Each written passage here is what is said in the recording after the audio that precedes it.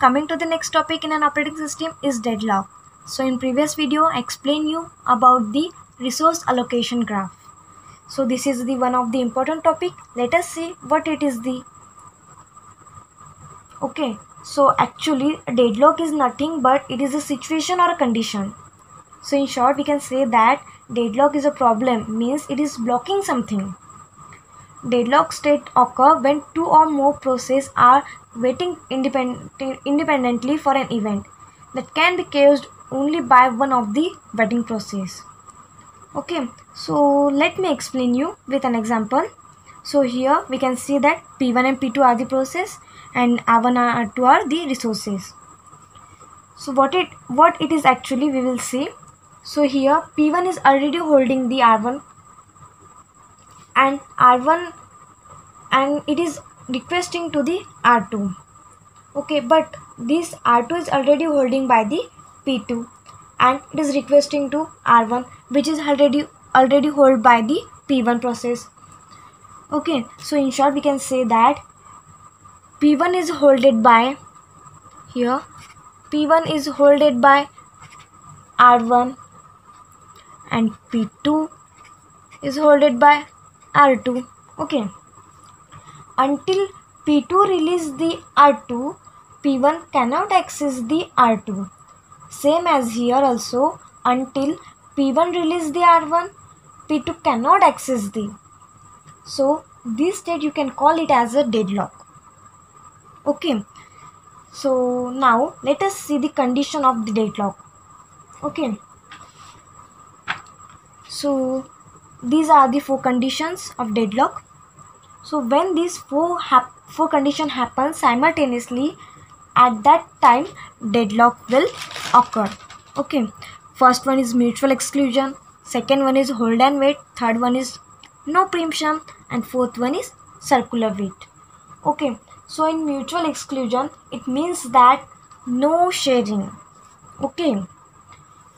In short we can say that only one process can access or use resource at a time means only one by one. It have to follow the sequence. Okay now in short we can say that no sharing not shareable. Okay only one process can use resource at a time. Okay now suppose here p1 is a process and r1 is a resources. If p1 is accessing r1 and p2 is not and here p2 is not shareable access to share uh, access to re- share the resource. Because it is not shareable it only share one at a time only.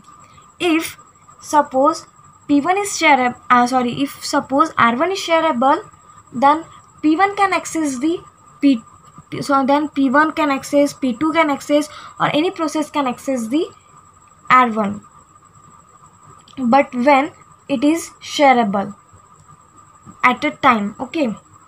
So now next one is hold and wait.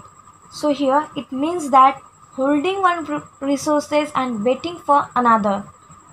So this is an con- another condition of deadlock. In short we can say that holding one resource and waiting for another holding one resource and waiting for another. Waiting for another. Okay. So this is the second condition of deadlock. Now we will see next one is no preemption. Okay. Now no preemption means so first we'll see what is preemption. Preemption means if one process completed its work it can it can need resources back so that another process will take. But here no preemption means a resource can be released voluntarily by process itself. Okay only the process can itself release the resources until it cannot release okay just only voluntarily. In short we can say that a process can release can release voluntarily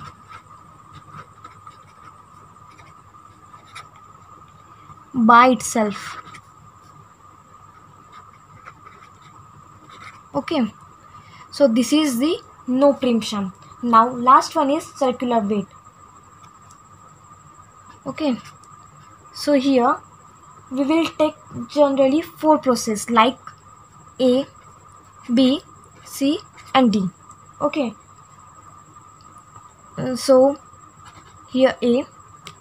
So here a requires some resources which is needed by b. Which is needed by b okay. And b requires some resources which is needed by c. Okay. And c requires some resources which is needed by d. Okay. And d requires some resources which is needed by a. Okay here everyone is waiting for some waiting for some event so this condition you will you call it as circular wait because there is no solution for that. So it leads to deadlock state. Okay. So if we prevent any one of the condition any one of the condition as a false as a false then you can prevent the deadlock. So this is the concept okay. Thank you